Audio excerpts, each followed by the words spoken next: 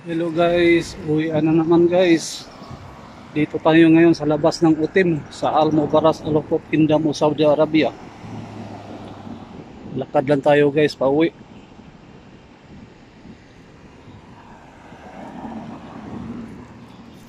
Yan guys, ang Utim Mall guys dito sa Al Mubarak Al of.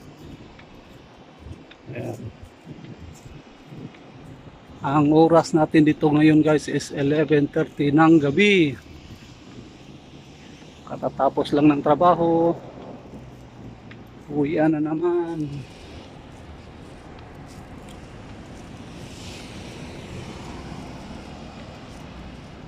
Ayan guys. Lakad-lakad lang. Malapit lang yung ano namin dito guys. Accommodation sa ano namin.